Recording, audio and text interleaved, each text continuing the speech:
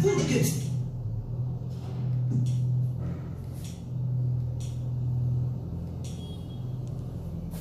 श्री राम को एग्जैक्टली चौदह साल की वनवास क्यों हुई? I mean why not five years और